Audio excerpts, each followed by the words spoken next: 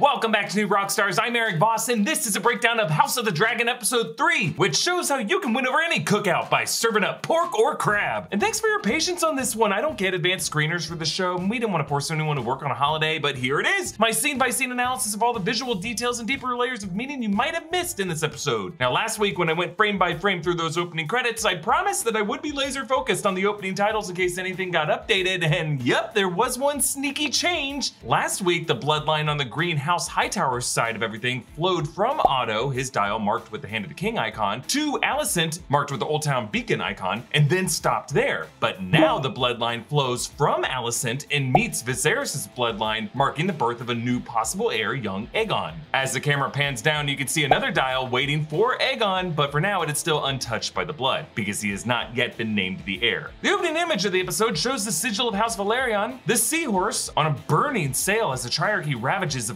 Velaryon fleet this seahorse is not the seahorse fish that we know. It's a rearing mammalian horse with the lower half of a fish and fins that resemble wings. Together with the embers, this foreshadows the true savior of this episode's closing, the fire of a flying Velaryon dragon, Sea Smoke. Even its name parallels what we are currently seeing in its opening, smoke on the sea. And speaking of Ash and Ruin, Epic Hero merch has a new shirt inspired by House of the Dragon called Ash and Ruin, and you can get it at epicheroshop.com. The Velaryon Knight screams at Craghas Drahar, the crab feeder. The sea snake will have your foxy head! by Poxy effing head, he was referring to the fact that Craghas has grayscale, which you could see on his face and his shoulders last episode, hiding under his golden mask, which is also the mask of the Sons of the Harpy. Those are the assassins who threatened Daenerys' rule over Meereen in Game of Thrones Season 5. Now, these Game of Thrones winks are new to the character in this series. Presumably, Drahar acquired his Harpy mask from piracy in the Free Cities, and if you remember in Game of Thrones, the men in the ruins of Valyria had grayscale, which does make Craghas in a way doubly representative representative of the rot that infests the Targaryen's ancestral home and a future threat of the ambitions of their descendant Daenerys. This poor Velaryon knight hails the arrival of Prince Daemon and his dragon Caraxes. Save me!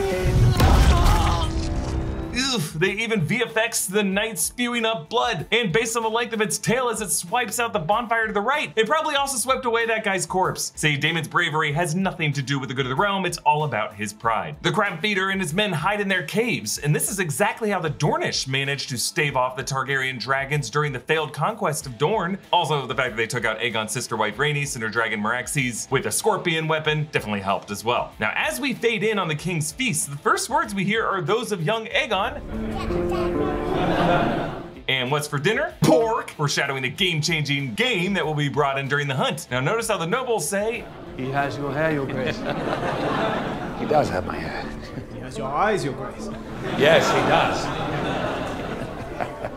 And you have my nose, don't you? And baby Aegon pulls away from Viserys' hand because notice how throughout this scene and throughout this episode, Viserys has now lost two of his fingers on his left hand. It's like with every episode, a new piece of this guy is dropping off. And as always, the Valyrian steel dagger of Aegon the Conqueror, which yes, again plays a huge role throughout Game of Thrones, continues to jut into frame, which is especially ironic now since his withering left hand would be the one to draw that dagger. Pretty soon, all that's gonna be able to grab it is a stump. It's just as every year of his rule renders him less and less worthy to carry Aegon's legacy represented by that dagger. Also, yes, I have to point this out. The frame that we cut to Aegon, that kid is totally looking at the camera. These child actors, they always see us. Otto Hightower speaks with his older brother Hobert, Lord of Oldtown. We actually saw him swearing fealty to Rhaenyra in episode one, which makes his assumption that Aegon would be named new heir pretty brazen. He's the king's firstborn son. I don't know that his grace sees it so clearly.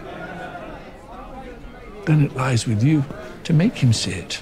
Ah, so we see how Otto pressuring his daughter Alicent to influence the king is really a trait passed down to him from his Hightower elder. Tyland Lannister is the new master of ships, replacing Corlys, who resigned last episode, noticed as Lannister Lion. Tyland and his twin brother Jason Lannister are both played by actor Jefferson Hall, who played Sir Hugh of the Vale in season one of Game of Thrones. I love how he plays Tyland as a worrywart and Jason as a proud braggart. Shots later in this episode actually Winklevoss him in twice, side by side. But there's a fun edit out of this scene. Can someone tell me where in the seven hells Rhaenyra might be?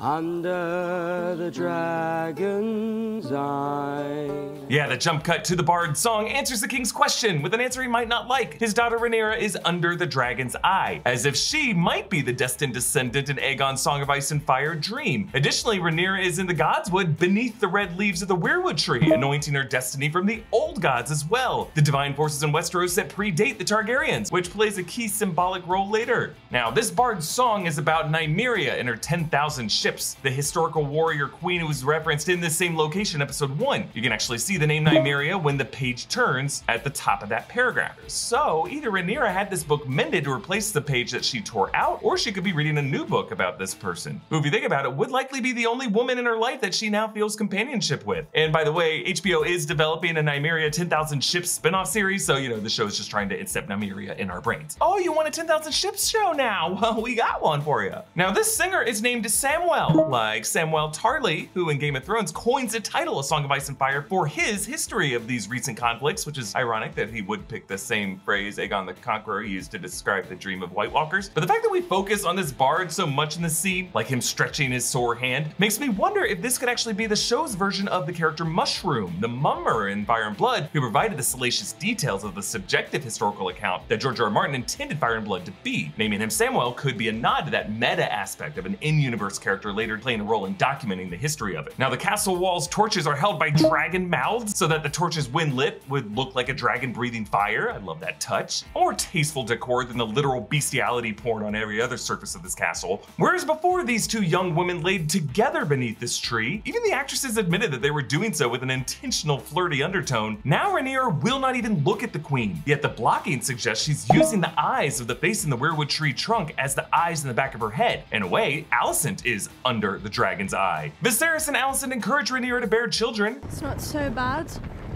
The days are long, but Aegon came quickly and without fuss. Yeah, those nurses got some tea. Clearly, Aegon's birth was rough for this teenage bride, and like many queens in the Middle Ages, especially ones now focused on popping out the next kid, she doesn't really get to spend much time mothering her toddler. Young Aegon looks at camera again and pushes that dragon figurine on the floor. All screw like children when they've been slaughtered. Your Grace, he also has your love of dropping dragon toys. Yes, in this episode, Rhaenyra goes from hating the sound of a screaming boar, the editing of her line there, syncing with Aegon's shout, to, at the end of this episode, stabbing a screaming boar. I wonder who Rhaenyra was visualizing stabbing there. As they arrive at the hunting camp, we see the Red Keep in the background of the shot. Compared to the Game of Thrones season one scenes that take place in the Kingswood, I just love the visual context we get here to anchor us in the setting. Ain't it nice when your TV shows got bigger budget? Master of Laws Lyonel Strong applauds their arrival, flanked by his two sons, Larys Strong with a club foot, and his brother Sir Harwin Breakbone Strong, who's gonna be an important character throughout this series. Hobert Hightower declares, Hail, hail, Edward the Conqueror, babe, second of his name. Second of his name is the title of this episode, and for Hobert to shout it here in front of everyone is a huge breach of protocol, as Aegon would not be called Aegon II, aka second of his name, until the king officially names him an heir, which he has not done yet. Despite the patriarchal customs of this society, Rhaenyra remains the proclaimed heir, whom, again, Hobert swore fealty to. So that conflict of whether Aegon should be the second of his name is at the heart of this episode. And while it is his birthday that they're celebrating, really this episode is the name day for other Targaryens, each of whom entered this world in a new way by the episode's end, baptized in fire and blood. As Rhaenyra walks into the red tent, we see her new hair braid at the back of her head, which matches the interlocking circles of the Valyrian steel necklace that Daemon gave her. This one always got eyes in the back of her head. Rhaenyra walks in on Kira Lannister dropping some exposition. Joanna was reported to have been abducted when one of Lord Swan's ships sailed through the Stepstones. What will happen to Lady Joanna?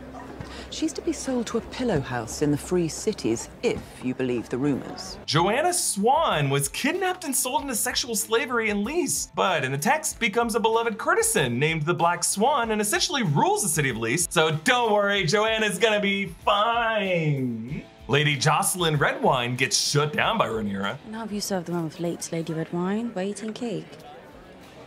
Now, actually, before Olenna Tyrell, our heroine from Game of Thrones, married into the Tyrell family, she actually came from House Redwine, so this dog-loving woman is her distant ancestor. Jason Lannister puts the moves of Rhaenyra by bragging about Casterly Rock. The rock is thrice the height of the high tower in Old Town, taller still than the wall in the north. It's fitting that Jason would brag about how tall the castle is, when famously Casterly Rock's best features are really the tunnels and mines within the rock that not many people know about. As tall as the castle is, Rhaenyra could always fly higher than it on Syrax, which Jason even knows that she did because Rhaenyra visited Casterly Rock with her mom as a girl. I just bring this up to compare Jason to another boastful character like Daemon, a guy whose greatest strength so far in the series has been his knowledge of the secret tunnels and passageways hidden within the castle, beneath the surface. And I love how when Jason first approached Rhaenyra, Rhaenyra is framed in the raging bonfire behind her. Fire has always been a symbol of strength for the Targaryen family, and it's almost like Rhaenyra is able to brush off Jason because she is fueled by this fire. Fire that she doesn't yet let explode out of her. Now, those Targaryens are not only known for their platinum hair, but how about that smooth, smooth skin? No dark under eye circles or blemishes on any of them. Now, they have the maesters to thank for their good skin, but for the rest of us, there's Geologie. Geologie is a 13 time award winning skincare company that creates simple, effective, personalized skincare products. You got your everyday face wash, your repair and night cream, your vital morning face cream, and your nourishing eye cream. Just click the link in the description and take a 30 second quiz. Tell Geologie about your skin, and their team of dermatologists will design a regimen just for you that ships direct to your door. Their products are great for acne, wrinkles, or any other skin concerns. You'll be sent a 30 day trial, so whether you're getting windburn from riding dragons or just look a little tired from staying up late breaking down House of the Dragon episodes, you'll have a plan for looking good. Just the simplicity of it all is my favorite part. They're ramping up to release brand new hair care products like all new co-wash shampoo and conditioner. Be sure to let them know that you're interested when you fill out the diagnostics so you can be the first to know when it releases. They're offering a crazy deal right now. You get 70% off on their 30-day 5-piece trial kit. Head to geologie.com to get 70% off your 30-day trial when you use the code ROCKSTARS70 or just click the link below. That's geologie.com, promo code ROCKSTARS70 to save 70% off your 30-day trial.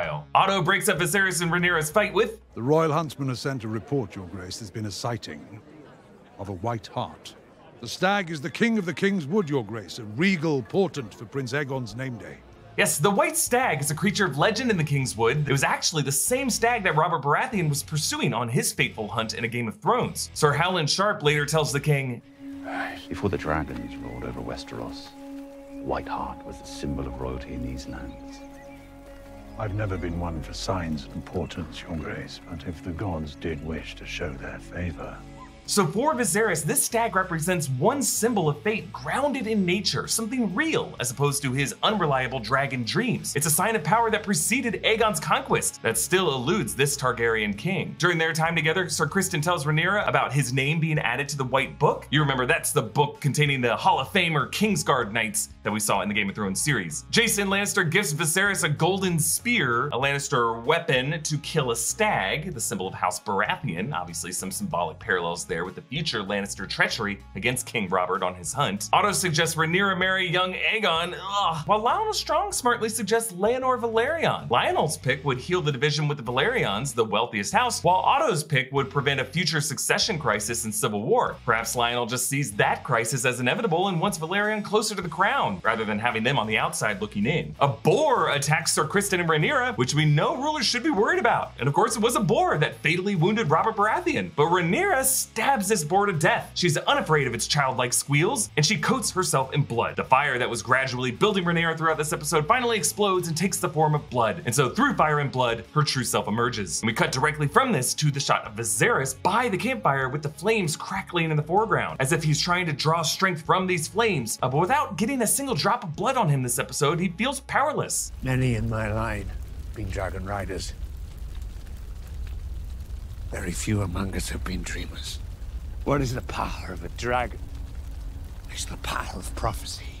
Ah, so we see how Viserys sees the distinction between dragon riders and dreamers. Dragon riders, like Daemon and Rhaenyra, act brashly and overwhelm their enemies with shock and awe, whereas dreamers are more cautious. They use their belief in prophecy to try to stay a step ahead. For Viserys, it wasn't Aegon's conquest that inspired him, it was Aegon's dream. And before that, Daenerys' dream that saved his family from the doom of Valyria. Viserys saw more power in those dreams and fashioned himself a dreamer, but now he's beginning to doubt himself, because as he shares with Alicent his dream of a son wearing Aegon's crown, the dream that he told Aemma about, he now admits that he only dreamt that image one time, and he could never again will it into a recurring prophecy style dream. It's interesting to note that Viserys' dream showed Aegon wearing the Conqueror's crown, not the crown he's currently wearing. The crown worn in the series by Viserys and his predecessor Jaehaerys, which are seen on their dials in the opening credits. That is not Aegon's crown. Aegon's crown is a circlet of Valyrian steel with square cut rubies in it. That crown encircles the dial that represents Aegon the Conqueror that starts off the opening credits and was last worn by Maegor the Cruel. Without spoiling anything, Aegon the Conqueror's ruby crown does come back in this narrative. But for now, Viserys thought naming Rhaenyra heir was his way of quitting that whole dream obsession. But now with Aegon's birth, his dream is actually coming true again. And now this White Hart legend is supporting that destiny. He doesn't know which signs to heed. So it actually comes to a bit of relief to Viserys when Breakbone Strong is trapped a different normal stag. May not be white, your grace. He's a big lad.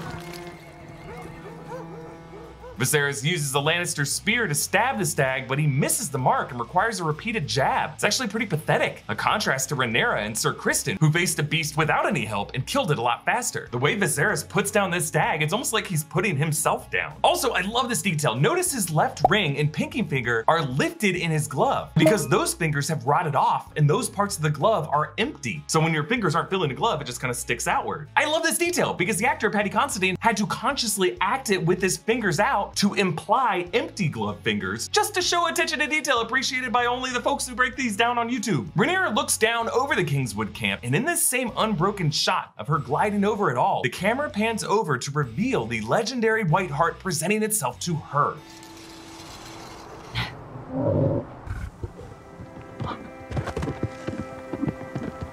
Yes, the white whale that eluded both her king father and will elude Robert Baratheon in the future appears to this Targaryen heir who is anointed in blood. The fact that Rhaenyra spares it though is interesting because you could totally imagine her descendant Daenerys slaying that white hart and proudly dragging it back into camp to show off her power. But this move by Rhaenyra can be seen as a gesture of restraint or compassion, but I see it as a heedlessly contrarian refusal to play the games of her father and his men. She's literally over all of them. So by letting this white hart flee, she leaves it as a secret known only to her, while to her father, it remains a maddening mystery that he'll never know whether or not it was even real. All her father has now are his bullshit dragon dreams, but Rhaenyra knows as a secret in her own heart that she had a physical sign from nature that her claim to the crown is destined. And I cannot help but see a parallel with another queen and a stag, the climax of the 2006 film The Queen, with Helen Mirren as Queen Elizabeth II shooing away a long sought after stag during a hunt to mirror her softening compassion for Princess Diana. Rhaenyra instead returns with a victory that was all her own, and pork is on the menu! Unlike her father, Rhaenyra is covered in blood, proving to all these lords watching that her kill was not ceremonial. She earned it. I love how particularly Breakbone Strong gives her a huge grin as he skins that rabbit. Otto tells Alicent that Aegon should become heir over Rhaenyra. The road ahead is uncertain, but the end is clear.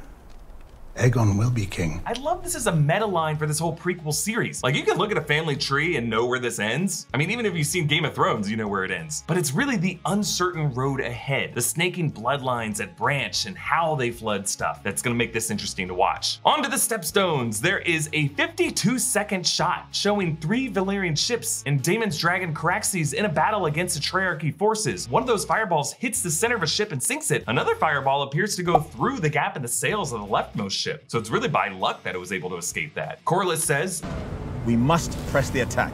Continue sending the dragons. Yes, he said dragons. A little signal that during all this time, they definitely had more than one dragon at their disposal. They had Caraxes and Laenor's dragon, Seasmoke. So it's not like Seasmoke came out of nowhere. Corlys debates strategy with his son, Laenor. Remember, he was the younger kid of the tourney with his sister, Laena, in episode one. He's also talking with Corlys's brother, Vaemond. He's the one who sent the notice to the crown. Notice how their map board uses crab claws for Craghas' forces, as well as fish jawbones and other fish figurines. But when Laenor suggests an offering of flesh to draw out Craghas from the caves, Arrives in that moment and plops his dragon designed helmet on the table. Even though he hasn't made this decision yet, he is going to end up volunteering himself as the bait, and his helmet in this moment serves as his figurine, putting himself on the game board. Daemon reads the king's letter and then pummels the messenger, Adam, and later we hear Viserys' voiceover reading it as Daemon rows alone toward the shore. So we realize that the only thing stopping him from doing this until now was just his pride. He's only moving on to this last resort tactic because his brother's about to steal the victory from him. As Viserys even said, Daemon would sooner die than let that happen. Happen, and he's about to risk doing that. And I love this shot of Daemon rowing out from behind burning ship wreckage, making it look as though he is emerging from the fire. Just another example of a Targaryen this episode being anointed from fire and blood. Now Daemon appears to surrender, and Craghas watches him with only one eye since that other eye has been rotted by the grayscale. Maybe that's why he had trouble seeing sea smoke and all that smoke and fog, because he didn't forget, he was searching the sky for those dragons. It's just this dragon had a convenient color tone to it. Daemon cuts through the Triarchy men with the sword Dark Sister, but eventually his plot armor runs out and he gets tripped up by one soldier and then plugged with a bunch of arrows. When he's pinned, we actually get a few extreme close-ups of Dark Sister's hilt. You can see how the crossguard forms outstretched dragon wings. I love all the little production design details of the show. As the screen fills with more and more smoke and fog, it masks the reveal of Sea Smoke, Laenor's dragon, colored silver gray, and releasing a roar that's actually pretty unlike the roars of Syrax and Caraxes.